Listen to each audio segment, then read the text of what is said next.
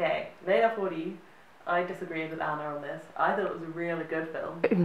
Um, it was like a sort of thriller thing that was set in South Africa, and it followed a woman who was um, who had got a job like running a lie machine, and she had to go and do a do a, a job for her boss, and she went on a road trip with her young son, and she hit she hits a man by mistake, and then she tries to save him by taking him to the hospital, but he dies, and she's scared that um, if she takes him to the police, she'll get arrested, and then her son will get taken away with her.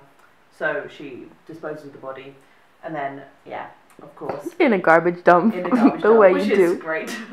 um, but then of course, uh, yeah, she she gets involved with the family, and everything everything goes very wrong for her. Um, It's basically about telling lies and to what extent you can tell a lie that is not going to hurt you and come back and haunt you.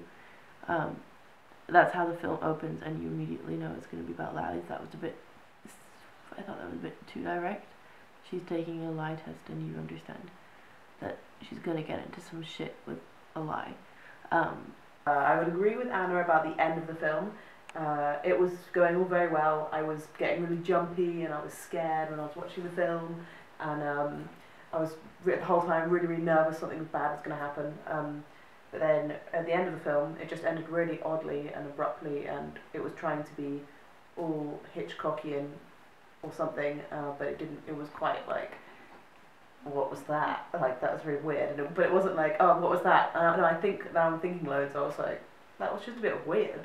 It could have been quite a good film, Layla Fourie, but um, I feel like the director or whoever made the film um, was trying to go at an existentialist theme, sort of trying to emulate Camus type things, and because those kinds of existentialist stories always end openly with an open denouement, they just glued on this weird ending. They just juxtaposed it with the rest of the film, and it didn't really fit.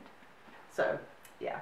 But I really liked it, and I thought it was amazing because it was like South Africa, and it was it was nice that it was shot there, and I really liked the main woman because she was she was like really reserved and quiet, and like I kind of like like main characters like that because you never really get to know what's going on in their heads, which is quite like different from most films.